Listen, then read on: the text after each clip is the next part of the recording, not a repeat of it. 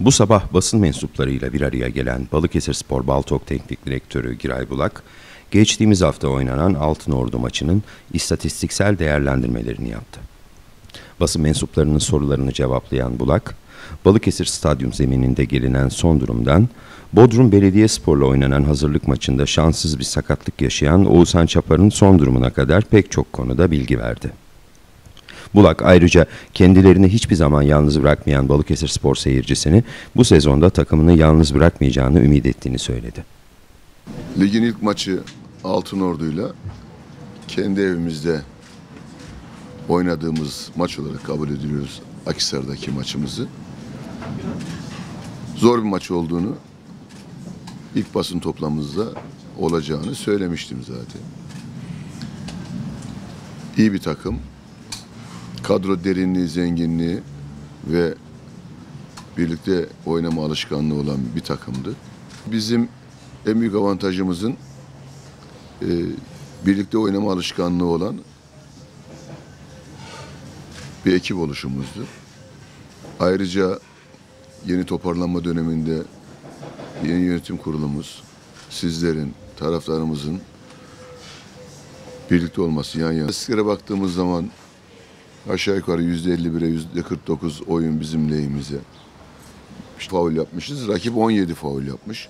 Bu taktik faulleri zaten ben e, devre arası hakem arkadaşla söylemiştim. Yani rakibin taktik faul yaptığını ve sizin de onlara kart göstermediğinizi söylemiştim.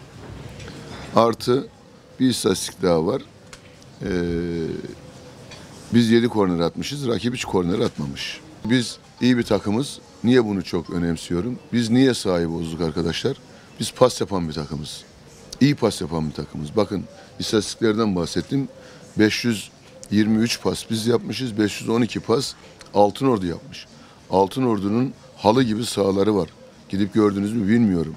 Biz de iyi sahada oynadık. Akisar'da pas oranımız onlardan yüksek çıktı. Ama biz kendi sahamızda çayır, mera gibi bırakılan bir sahada biz oynamaya kalkarsak yarın sizler bizi eleştireceksiniz. Ben şimdiden eleştiriyorum. Ee, ne olduğu, ne olacağı belli olmayan bir süreç yaşıyoruz. Yani e, karşımızda Giresunspor maçında izlettiğimiz bir ekip mi olacak? Yoksa e, transferlerini gerçekleştirmiş bir ekip mi olacak? Bu belirsizlik var. Ama biz e, transferlerini yapabilmiş bir ekip e, doğrultusunda hazırlanıyoruz. E, gelebilecek olduğumuz bir maç diye düşünüyoruz. İnşallah öyle olur. Futbol bugün çok farklılaştı. Dünya Kupası'ndan sonra en önemli üç tane istatistik meydana çıktı. Birincisi çok çalışmak. Artık futbolcular çok çalıştırılıyor. Eskiden yandık, bittik, öldük teranesi yok artık. 24 saat futbolcu çalışıyor. Bizde de böyle aynı. Bilmiyorum takip ediyor musunuz ama sabah oyuncu kulübe girer geçiş futbolu. Artık birinci, ikinci, üçüncü bölgeleri çok çabuk kullanıyor oyuncular. Çünkü futbolun hızı arttı, temposu arttı. Artık herkes 12, 13, 14 kilometre koşmaya başladı. Bu geçiş futbolu çok önemli hale geldi. Üçüncüsü en önemlisi de oyuncuların iki yönlü oyunu. Hem e, hücum oyunu oynayabilmesi hem savunma oyununu becerebilmesi. Biz bunu da yapmaya çalışıyoruz. Yani zaman zaman gol kralımız, gol krallığını oynayan Otto'yu, Sedat'ı, Abdülkadir'i savunma yapar gibi e, görüyorsunuz. Doğru. Biz onlardan savunma yapmayı istiyoruz.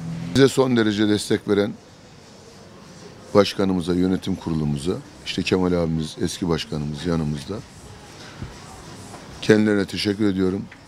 Sayın Belediye Başkanımız Zekai Bey ve milletvekillerimiz, beş milletvekilimiz ve il başkanımız kulübümüzü ziyaret ettiler. Bize destek verdiler, güç verdiler.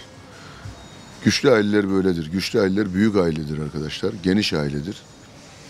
Biz sizler de güçlüyüz. Bakın Oğuzhan Çapar çok üzüldüğüm bir sakatlık yaşadı. Çünkü hiç olmayacak bir pozisyonda rakibin arkadan acımasız hareketine maruz kaldı ve dün kendisini çapraz ameliyatı yaptırdık. Aşağı yukarı tabii 7 aylık bir süreç yaşayacağız. Ama bugün hastaneden ayrılacak, eve çıkacak. Orada evde tuttuk kulüp, e, kendisini evde tuttu. E, orada bir iki ay rehabilitasyon dönemi yaşayacak. İnşallah sağlıklı bir şekilde aramıza dönecek. Şu anda sakatımız yok. Hocam peki taraftar da çok önemli. Kulübün ayrılmaz parçasıdır. Ee, taraftarımızla ilgili bu sene nasıl görüşmelerimiz, bizi desteklemeleri durumları nasıl? Yeni bir hareketlenme olacak mı? İşte formalar yazılıyor ya birden 11'e kadar 12'de taraftar oluyor. Yani o da oyuncu kabul ediliyor. Onun için çok önemsiyoruz. Bizim taraftarımız önemli bir taraftar. Türkiye'de centilmenliğiyle kendi takımını desteklemesiyle isim yaptı. Dolayısıyla biz kendilerini her zaman bekliyoruz. Arzu ediyoruz. Ee, onlarsız olmuyor tabii. Mutlaka gelecekler ve bizi takip edecekler diye ee, düşünüyoruz ama tabii iç sahada oynamadığımız için bu hafta çok fazla olmadı. Akisar'a gelindi ama kendi evine gelmek var. E, Deplasman belki az sayıda olacak ama içeride oynadığımız zaman bizim için çok büyük güç olacak tabii ki taraftarımız. Tommy'nin altı buçuk ayı doldu. Yani bu, bu tip oyuncular yedinci aydan sonra oynamaya başlıyor. Çünkü olası bir aksilikten de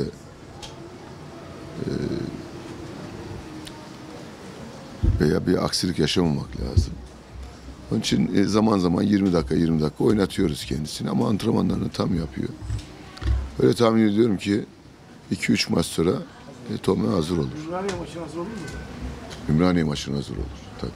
Bunu oynatma işimizin en önemli sebebi bir kere Akader'in en önemli oyuncu Uğur. Ama haksızlığa uğrattığımız bir oyuncu oluyor. Niye? Uğur hem sağ bek hem stoper hem orta saha kullanmak istiyoruz. Yani bir oyuncudan üç oyuncu nasıl çıkartabiliriz? Ama sadece sağ bek düşünsek Okan da sağ bek, Uğur da sağ bek. Bir mevkiye iki oyuncuyu bağlamış olacağız. Halbuki biz bir mevkiden üç oyuncu kazanmak istiyoruz. kesimlere çağrımızdır. Bizi desteklesinler, takımımızı desteklesinler. Hocamız ve bu takım Balıkesirlileri hiçbir zaman mahcup etmeyecek. Onların beklentilerine cevap verecektir. Güzel maç izleyeceklerine emin olsunlar. Seyircimize biz güveniyoruz. Hocamızın da dediği gibi bizim 12. adamımız seyircimiz.